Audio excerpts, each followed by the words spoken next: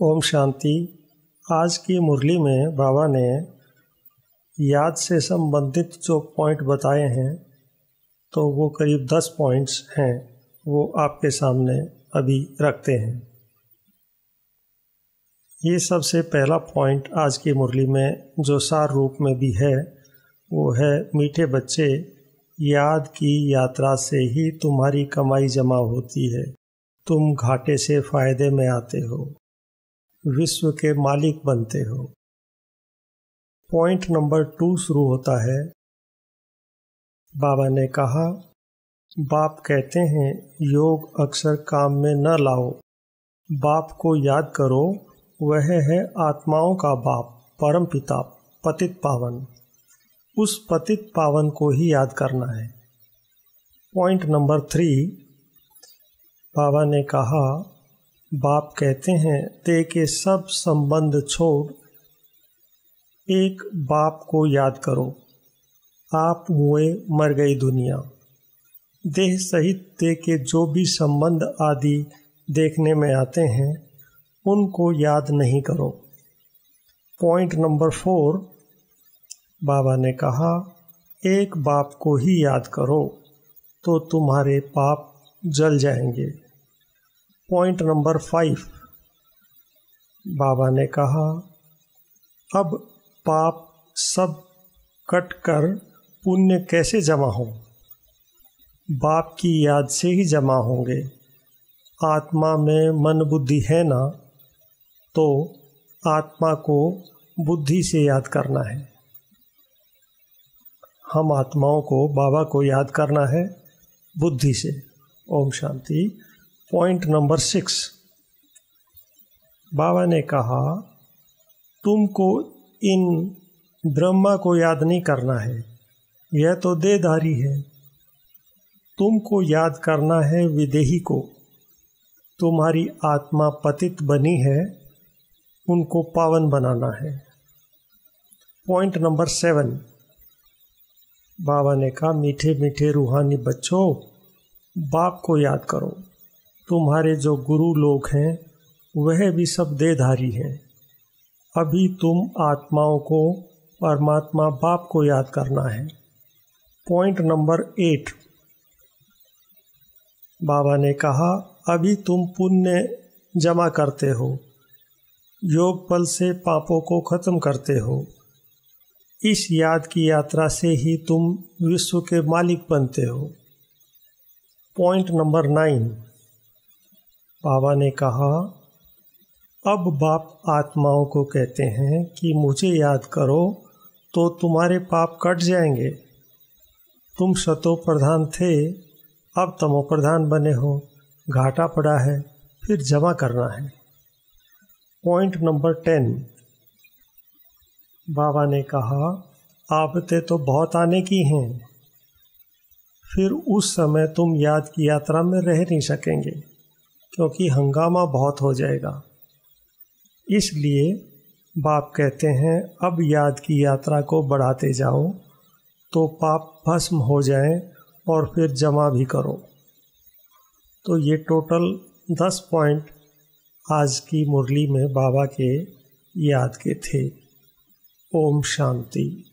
ओम शांति। बाबा की फुल मुरली सुनते हैं। ओम शांति। ओम शांति। आज सात अगस्त 2024 बाबा के महावाक्य हैं। मीठे बच्चे, याद की यात्रा से ही तुम्हारी कमाई जमा होती है। तुम घाटे से फ़ायदे में आते हो, विश्व के मालिक बनते हो। प्रश्न है, सत का संग तारे, कुसंग बोरे, इसका अर्थ क्या है? उत्तर है जब तुम बच्चों को सत का संग, अर्थात बाप का संग मिलता है, तब तुम्हारी चढ़ती कला हो जाती है। रावण का संग कुसंग है। उसके संग से तुम नीचे गिरते हो। अर्थात रावण तुम्हें डुबोता है, बाप पार ले जाता है। बाप की भी कमाल है, जो सेकंड में ऐसा संग देते, जिससे तुम्हारी गति सदगति हो जाती है। इसलिए उसे जादूगर भी कहा जाता है। ओम शांति। बच्चे याद में बैठे थे, इसको कहा जाता है याद की यात्रा। बाप कहते हैं, युग अक्षर काम में ना लाओ। बाप को याद करो वह है आत्माओं का बाप, परम पिता, पतित पावन। उस पतित पावन को ही याद करना है। बाप कहते हैं, देह के सब संबंध छोड़, एक बाप को याद करो। कहते हैं ना, आप मोए, मर गई दुनिया। देह सहित, देह के जो भी संबंध आदि देखने में आते हैं, उनको याद नहीं करो। एक बाप को ही याद करो तो तुम्हारे पाप जल जाएँगे। तुम जन्म जन्मांतर की पाप आत्माएँ होना यह है ही पाप आत्माओं की दुनिया। सतयुग है पुण्य आत्माओं की दुनिया। अब पाप सब कटकर पुण्य कैसे जमा हो? बाप की याद से ही जमा होंगे। आत्मा में मन बुद्धि है ना? तो आत्मा को बुद्धि से याद करना है। बाप कहते हैं, तुम्हारे जो भी मित्र संबंधी हैं, उन सबको भूलो। वह सब एक दो को दुख देते हैं। एक पाप करते हैं, जो काम कटारी चलाते हैं। दूसरा पाप फिर क्या करते हैं? जो बाप सर्व का सदगति दाता है, बच्चों को बेहद का सुख देते हैं, अर्थात स्वर्ग का मालिक बनाते हैं, उसे सर्वव्यापी कह देते हैं। यह पाठशाला है, तुम आए हो, यह पढ़ने। यह लक्ष्मी नारायण है, तुम्हारी एम ऑब्जेक्ट और कोई ऐसे कह ना सके। तुम जानते हो, अभी हमको पवित्र बन, पवित्र दुनिया का मालिक बनना है। हम ही विश्व के मालिक थे। पूरे पाँच हज़ार वर्ष हुए, देवी देवता विश्व के मालिक है ना। कितना ऊंच पद है। ज़रूर यह बाप ही बनाएँगे। बाप को ही परमात्मा कहते हैं। उनका असुल नाम है शिव। फिर बहुत नाम रख दिए हैं, जैसे बॉम्बे में बबुलनाथ का मंदिर है, अर्थात कांटों के जंगल को फूलों का बगीचा बनाने वाला है। नहीं तो उनका असली नाम एक ही शिव है।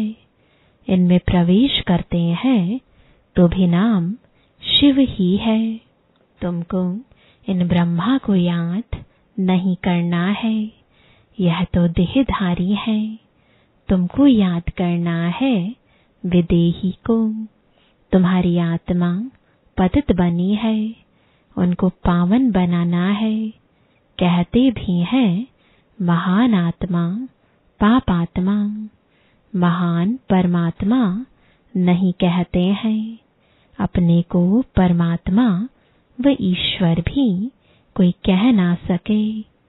कहते भी हैं, महात्मा, पवित्र आत्मा, सन्यासी सन्यास करते हैं, इसलिए पवित्र आत्मा है। बाप ने समझाया है, वह भी सभी पुनर्जन्म लेते हैं। देहधारियों को पुनर्जन्म ज़रूर लेना पड़ता है। विकार से जन्म ले फिर जब बड़े बालिग बन जाते हैं तो सन्यास कर लेते हैं। देवताएँ तो ऐसे नहीं करते। वह तो एवर पवित्र है। बाप अभी तुमको आसुरी से दैवी बनाते हैं। दैवी गुण धारण करने से दैवी संप्रदाय बनेंगे। दैवी संप्रदाय रहते हैं सतयुग में। आसुरी संप्रदाय रहते हैं कलयुग में अभी है संगम युग। अब तुमको बाप मिला है। कहते हैं, अब तुमको फिर दैवी संप्रदाय बनना है ज़रूर। तुम यहाँ आए ही हो दैवी संप्रदाय बनने। दैवी संप्रदाय वालों को अथाह सुख है। इस दुनिया को कहा जाता है हिंसक देवताएँ हैं, अहिंसक। बाप कहते हैं, मीठे मीठे रूहानी बच्चों, बाप को याद करो। तुम्हारे जो गुरु लोग हैं, वह भी सब देहधारी हैं। अभी तुम आत्माओं को, परमात्मा बाप को याद करना है। सुख तब मिलेगा जब तुम पुण्य आत्मा बनेंगे। चौरासी जन्मों के बाद ही तुम पाप आत्मा बन जाते हो। अभी तुम पुण्य जमा करते हो। युग बल से पापों को खत्म करते हो। इस याद की यात्रा से ही तुम विश्व के मालिक बनते हो। तुम विश्व के मालिक थे तो सही ना वह फिर कहाँ गए? यह भी बाप ही बताते हैं। तुमने चौरासी जन्म लिए। सूर्यवंशी, चंद्रवंशी बने। कहते भी हैं, भक्ति का फल भगवान देते हैं। भगवान कोई देहधारी को नहीं कहा जाता है। वह है ही निराकार शिव। उनकी शिवरात्रि मनाते हैं। तो ज़रूर आते हैं ना। परंतु कहते हैं, तुम्हारे सदृश से जन्म नहीं लेता हूँ। मुझे शरीर का लोन लेना पड़ता है। मुझे अपना शरीर नहीं है। अगर होता तो उनका नाम होता। ब्रह्मा नाम तो इनका अपना है। इसने सन्यास किया, तब नाम ब्रह्मा रखा है। तुम हो ब्रह्मा कुमार कुमारियाँ। नहीं तो ब्रह्मा कहाँ से आया? ब्रह्मा है शिव का बेटा। शिव बाबा अपने बच्चे ब्रह्मा में प्रवेश कर तुमको ज्ञान देते हैं। ब्रह्मा, विष्णु, शंकर भी इनके बच्चे हैं। निराकार बाप के सब बच्चे निराकार हैं। आत्माएँ यहाँ आकर शरीर धारण कर पाठ बजाती हैं। बाप कहते हैं, मैं आता ही हूँ पतितों को पावन बनाने। मैं इस शरीर का लोन लेता हूँ। शिव भगवान वाच, है ना? श्री कृष्ण को तो भगवान नहीं कह सकते। भगवान तो एक ही है। श्री कृष्ण की महिमा ही अलग है। पहला नंबर देवता है राधे कृष्ण, जो स्वयंवर के बाद फिर लक्ष्मी नारायण बनते हैं। परंतु यह कोई जानते नहीं, राधे कृष्ण का किसको भी पता नहीं है। वह फिर कहाँ चले जाते हैं? राधे कृष्ण ही स्वयंवर के बाद फिर लक्ष्मी नारायण बनते हैं। दोनों अलग अलग महाराजाओं के बच्चे हैं। वहाँ अपवित्रता का नाम नहीं है, क्योंकि पाँच विकार रूपी रावण ही नहीं है। है ही राम राज्य। अब बाप आत्माओं को कहते हैं कि मुझे याद करो तो तुम्हारे पाप कट जाएँगे। तुम सतु प्रधान थे, अब तमु प्रधान बने हो। घाटा पड़ा है, फिर जमा करना है। भगवान को व्यापारी भी कहा जाता है, कोई विरला उनसे व्यापार करे। जादूगर भी उनको कहते हैं, कमाल करते हैं जो सारी दुनिया की सदगति करते हैं। सबको मुक्ति जीवन मुक्ति देते हैं। जादू का खेल है ना। मनुष्य मनुष्य को दे नहीं सकते। तुम तिरसठ जन्म भक्ति करते आए हो। इस भक्ति से कोई ने सदगति को पाया है। कोई है जो सदगति दे, हो नहीं सकता। एक भी वापस जा नहीं सकता। बेहद का बाप ही आकर सबको वापस ले जाते हैं। कलयुग में अनेक राजाएँ हैं। वहाँ तुम थोड़े राज्य करते हो। बाकी सब आत्माएँ मुक्ति में चली जाती हैं। तुम जाते हो जीवन मुक्ति में वाया मुक्ति धाम यह चक्र फिरता रहता है। अभी तुम आत्माओं को दर्शन हुआ है इस सृष्टि चक्र का। रचयिता और रचना के आदि मध्य अंत का। तुम ही इस ज्ञान से नर से नारायण बनते हो। देवताओं की राजधानी स्थापन हो गई। फिर तुमको ज्ञान की दरकार नहीं रहेगी। भक्तों को भगवान ने फल दिया, आधा कल्प सुख का फिर रावण राज्य में दुख शुरू होता है। आहिस्ते आहिस्ते सीढ़ी उतरते हैं।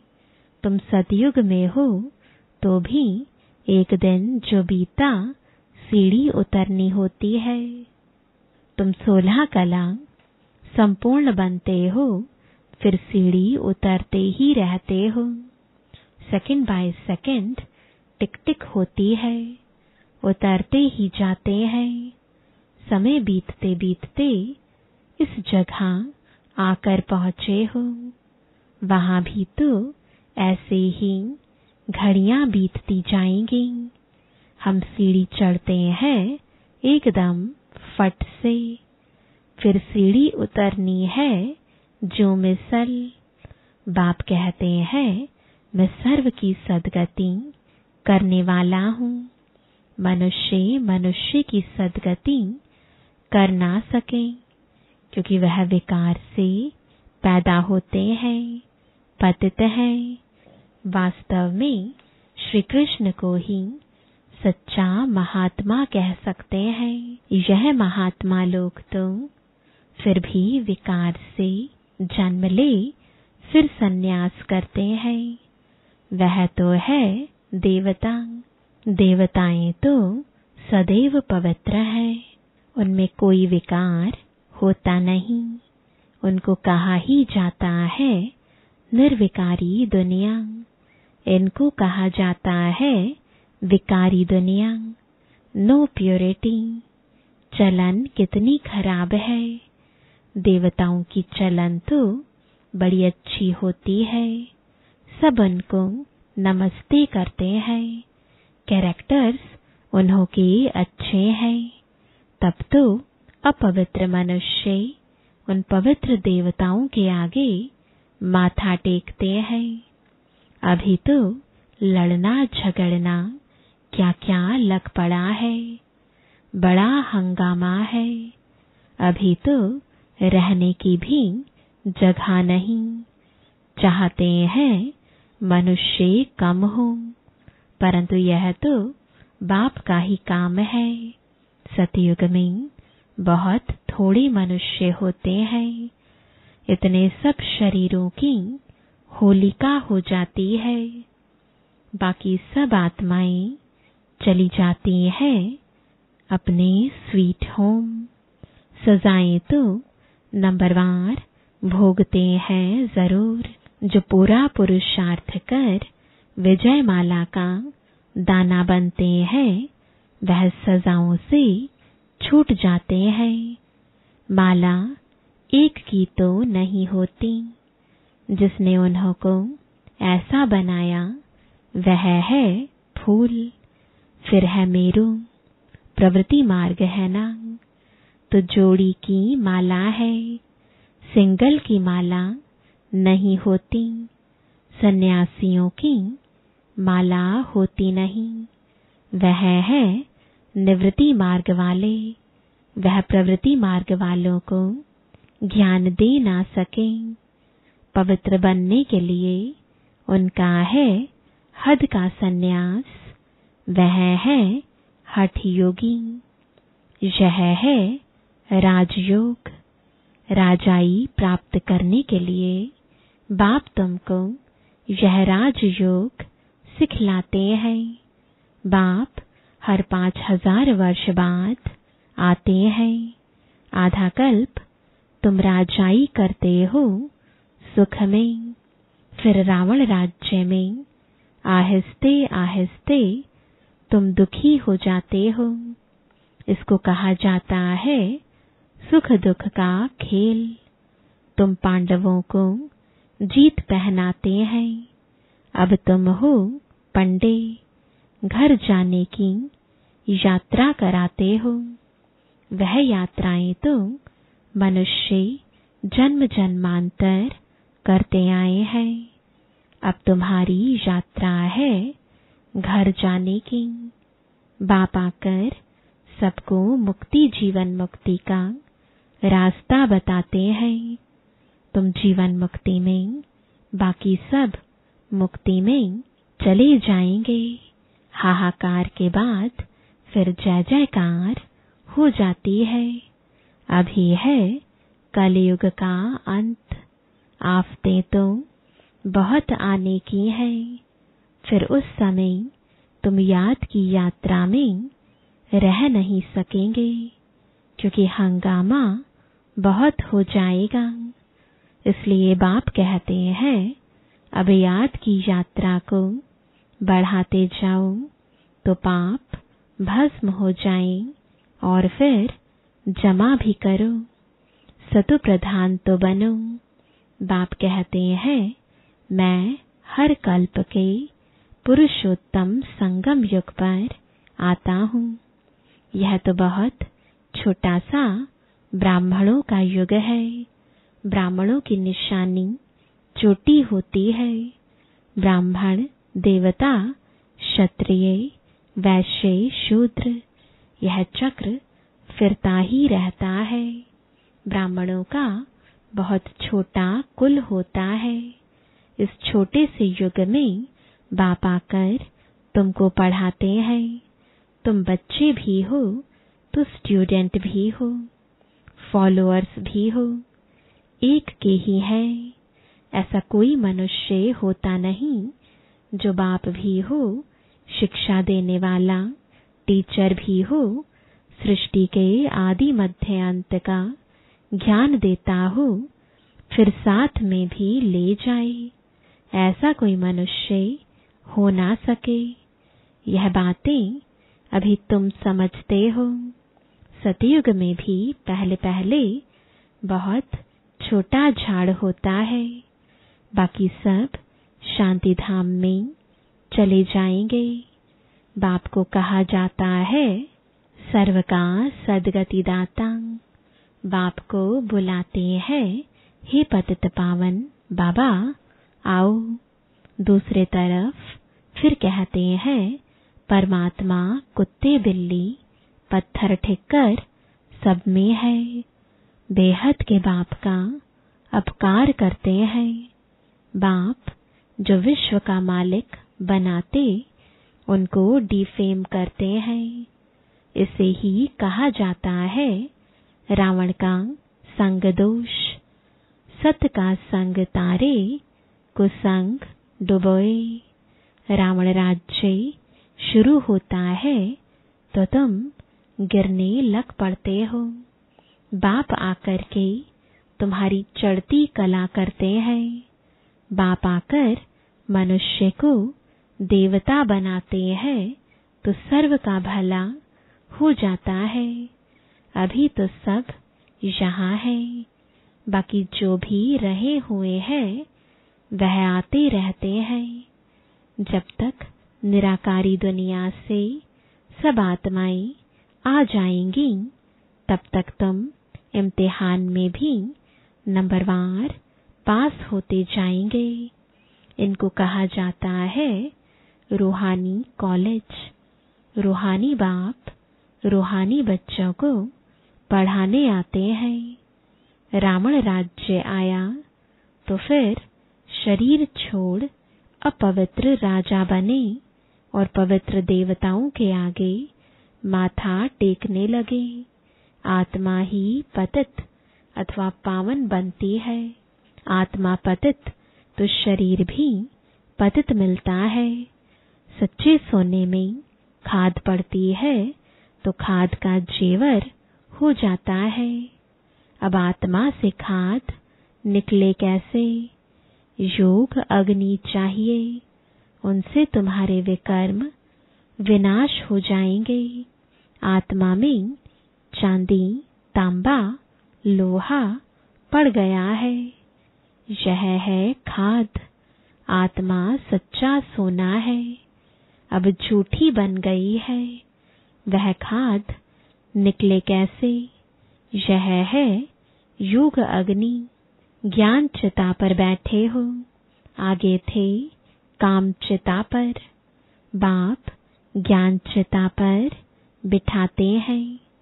सिवाय ज्ञान सागर बाप के और कोई ज्ञान चिता पर बिठा ना सके। मनुष्य भक्ति मार्ग में कितनी पूजा करते रहते हैं, लेकिन किसको जानते नहीं। अभी तुम सबको जान गए हो। तुम सब देवता बनते हो तो फिर पूजा की बात ही खत्म हो जाती है।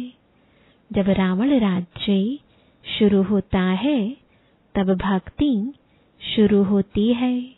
अच्छा मीठे मीठे सिकिलदे बच्चों प्रति माता पिता बाप दादा का याद प्यार और गुड मॉर्निंग।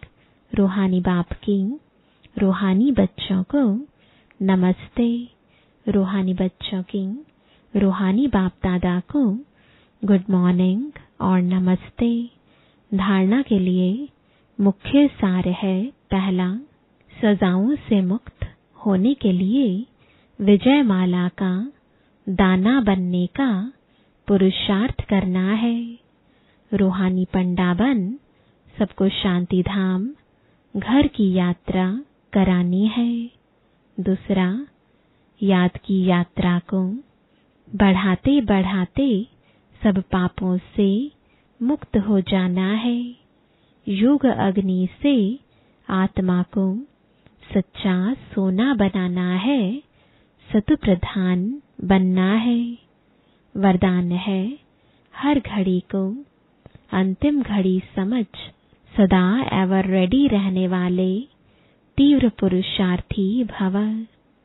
अपनी अंतिम घड़ी का कोई भरोसा नहीं है, इसलिए हर घड़ी को अंतिम घड़ी समझते हुए एवर रेडी रहो। एवर रेडी अर्थात तीव्र पुरुषार्थी। ऐसे नहीं सोचो कि अभी तो विनाश होने में कुछ टाइम लगेगा, फिर तैयार हो जाएँगे। नहीं, हर घड़ी अंतिम घड़ी है। इसलिए सदा निर्मोही, निर्विकल्प, निर्व्यर्थ, व्यर्थ भी नहीं, तब कहेंगे एवर रेडी कोई भी कार्य रहे हुए हो, लेकिन अपनी स्थिति सदा उपराम हो। जो होगा, वो अच्छा होगा। स्लोगन है, अपने हाथ में लौ उठाना भी क्रोध का अंश है। ओम शांति।